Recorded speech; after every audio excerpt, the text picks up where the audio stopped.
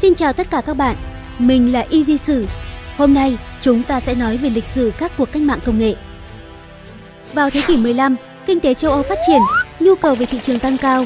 Ngoài giao thương giữa khu vực châu Á và châu Âu qua con đường tơ lụa, người ta còn tìm thêm các con đường mới trên biển. Các cuộc cách mạng tư sản, nhà nước tư bản ra đời, thúc đẩy công nghiệp và thương nghiệp phát triển mạnh mẽ, là tiền đề để cách mạng công nghiệp diễn ra, làm thay đổi nền kinh tế, xã hội và cả trật tự thế giới. Vào khoảng năm 1784, cách mạng công nghiệp lần thứ nhất bắt đầu ở Anh với việc phát minh ra động cơ hơi nước. Thời đó, các nhà máy dệt đều phải đặt gần sông để lợi dụng sức nước chảy. Tuy nhiên, năm 1784, James Watt đã cải tiến đột phá động cơ hơi nước do Thomas Newcomen chế tạo trước đó, tạo điều kiện cho nhà máy dệt có thể được đặt ở bất cứ nơi đâu. Đây là cột mốc đánh dấu sự bùng nổ công nghiệp thế kỷ 19, lan rộng từ Anh đến châu Âu và Hoa Kỳ. Đến năm 1785, linh mục Edmund phát minh ra máy dệt vải giúp tăng năng suất lên tới 40 lần. Ngành luyện kim cũng có những bước tiến lớn. Năm 1784, Henry Cort đã tìm ra cách luyện sắt Bergdorling, bước tiến cho ngành luyện kim, nhưng chất lượng vẫn chưa đáp ứng được yêu cầu về máy móc. Đến năm 1885, Henry Bessemer phát minh ra lò luyện gang thành thép lỏng, khắc phục được nhược điểm của phương pháp trên.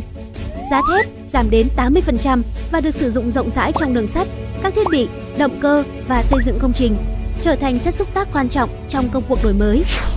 Chiếc đầu xe lửa chạy bằng hơi nước đầu tiên được ra đời vào năm 1804 với vận tốc lên đến 14 dặm một giờ.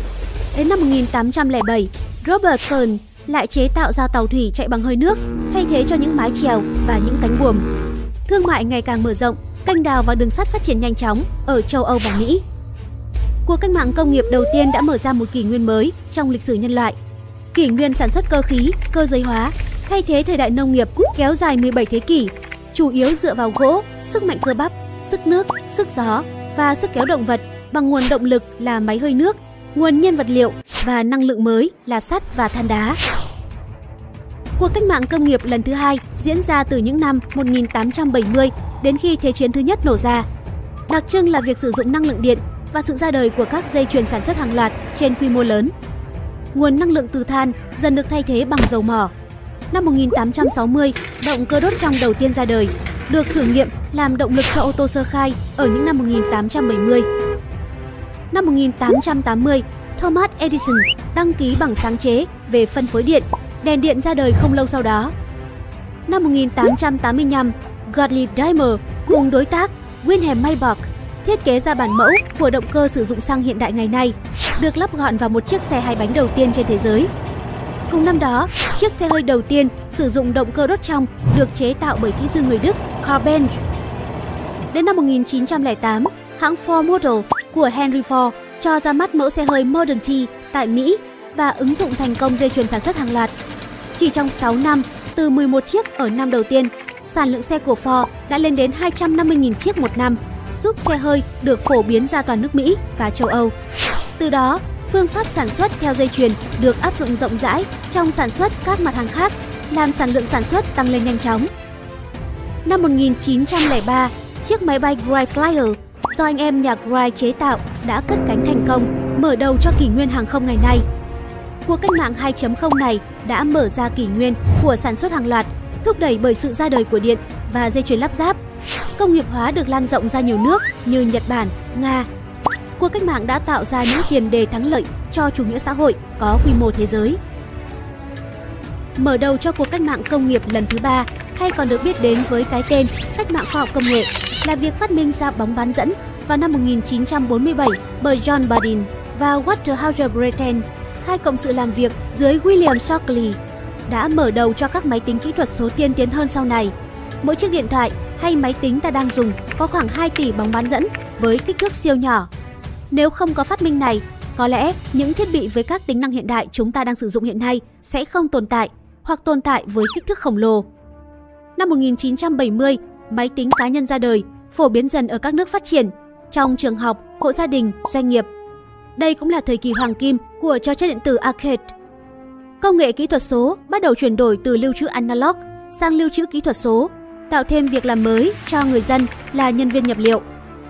Mãi đến năm 1983, chiếc điện thoại đầu tiên đã ra đời với sáng chế của Motorola Dynatac.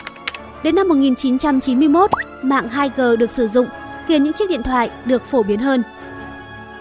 Và sáng chế quan trọng nhất ở thời bấy giờ chính là World Wide Web, một không gian thông tin toàn cầu.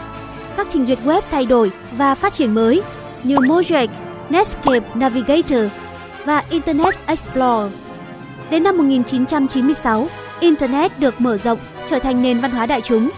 Năm 2018, số lượng người sử dụng Internet đã lên đến hơn 4,3 tỷ người, tương đương với 56% dân số thế giới. Cuộc cách mạng 3.0 được xem là bước đại nhảy vọt để đưa chúng ta vào kỷ nguyên mới, kỷ nguyên số hóa hay cách mạng công nghiệp 4.0.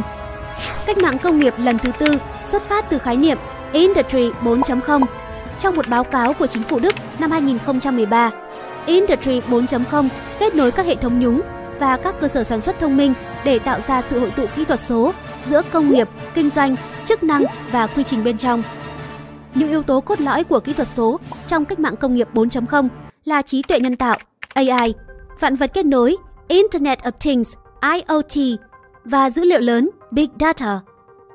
Trên lĩnh vực công nghệ sinh học, cách mạng công nghiệp 4.0 tập trung vào nghiên cứu để tạo ra những bước nhảy vọt trong nông nghiệp, thủy sản, y dược, chế biến thực phẩm, bảo vệ môi trường, năng lượng tái tạo, hóa học và vật liệu. Cuối cùng là lĩnh vực vật lý với robot thế hệ mới, máy in 3D, xe tự lái, các vật liệu mới, graphene, skyromian và công nghệ nano. Hiện cách mạng công nghiệp 4.0 đang diễn ra tại các nước phát triển như Mỹ, châu Âu và một phần châu Á.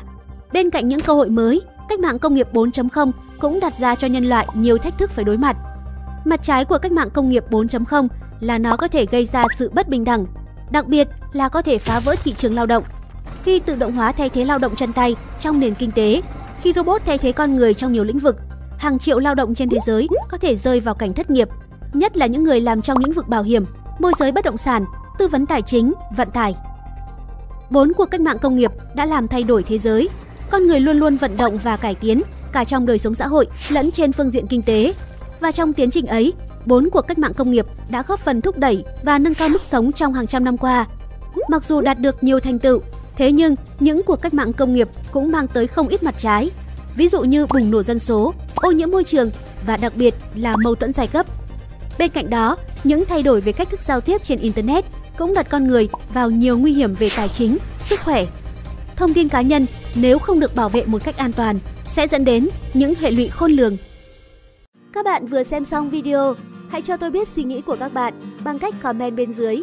Bạn nghĩ gì qua video này? Nếu thích thì hãy like, share